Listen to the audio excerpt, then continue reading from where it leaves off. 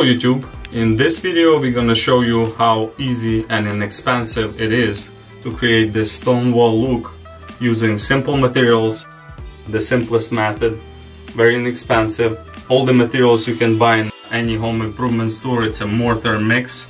It usually comes in uh, ready mix, so all you have to do is just add water.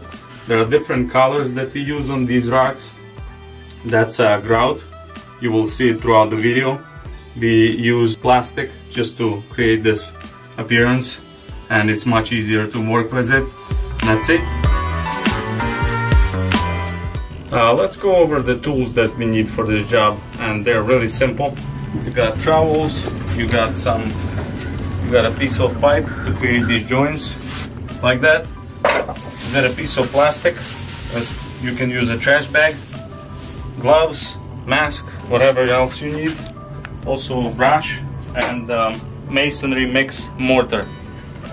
And that's a um, product that you can buy in any Home Depot or Lowe's or um, Ace Hardware store. It's inexpensive and it doesn't cost too much. That's it